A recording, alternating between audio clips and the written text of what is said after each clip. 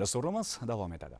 Davlatimiz rahbarining topshirig'i asosida endilikda xalq qabulxonalari va sektorlar rahbarlarining aholi muammolari bilan ishlashi yangi strategiya va tizim asosida tashkil etilmoqda. Bunda aholi bilan muloqot, yangicha yondashuv, davlat idoralarining bevosita birinchi rahbarlari eng og'ir, eng chekka, eng olis hududlarga chiqqan holda mahallama-mahalla, qishloqma-qishloq, ko'chama-ko'cha, uyma-uy yurib, aholi muammolarini o'rganish asosida tashkil etishga kirishildi.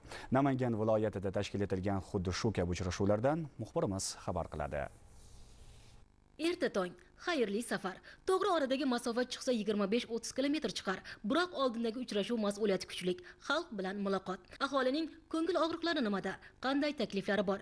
Yashash sharoitlarichi namangan viloyat hokimining mutasaddilar ishtirokidagi navbatdagi sayyor qabuli namangan shahridagi bunyodkor mahallasida bo'ldi va ayni savollarga oydinlik kiritildi. 1978 yil tashkil etilgan mahalla shahar hududida joylashgan bo'lsa-da rivojlanish taraqqiyotda shahar maqomiga to'g'ri kelmasligi bor gap. Birinchi sektor rahbari masalalarni mahallama mahalla uyma uy yurib o'rganishga kirishdi. 80 mingdan ortiq aholi istiqomat qilayotgan mahallada fuqarolar aytganidek elektr masalasi anchayin eskirib qolgan. Bu muammo shu kunni o'zida yangi transformatorni o'rnatish bilan yechim topadigan bo'ldi. Tuproq ko'chalar. Aslida fuqarolar aytmasada yo'l muammosi shundayin ham o'zini oshkor etib turibdi.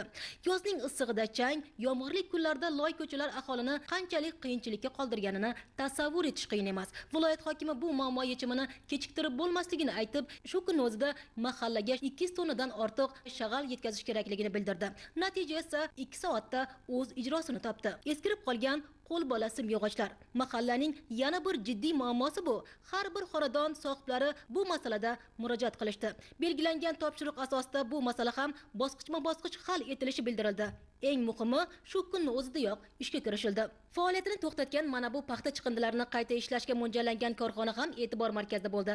Endi 200 million kredit evaziga uning faoliyati yo'lga qo'yiladigan bo'ldi va yangi ish o'rinlari ham yaratilishi belgilandi. Umumiy maydoni 1279 gektar bo'lgan hududda aholining tomorqadan foydalanishi ham suv muammosiga bog'liq.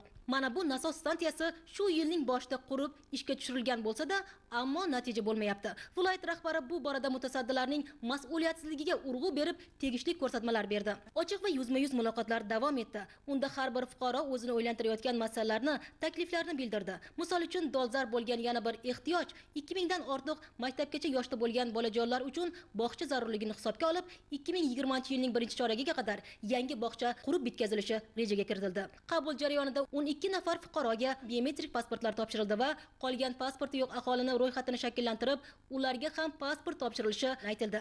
Eng asosiy muammolardan yana biri ichimlik suvi. Bu borada birinchi sektor rahbariga ko'plab murojaatlar kelib tushdi. Ikki ming kuba managa vodozabor quramiz hozir. Oqova suv olib kelamiz e, katta narga e, yangiqo'rg'on suvini ham tezlashtiramiz. Bundan tashqari uyma uy o'rganishlarda aholi bandligi ularni ishga joylashtirish bo'yicha maxsus reja tuzildi. Ularga qoramollar va tikuv mashinalari texnik jihozlar qurilish materiallari ajratildi. Xullas xalq bilan o'tgan muloqotda kelib tushgan oltmishga yaqin murojaatlar o'z yechimini topdi. Shu o'rinda yana bir ma'lumot. Namangan shahrini o'rganish natijasida ishchi guruh tomonidan to'rt mingdan ortiq kamchiliklar va muammolar aniqlangan va ularning sakson besh foizi joyida hal etilgan.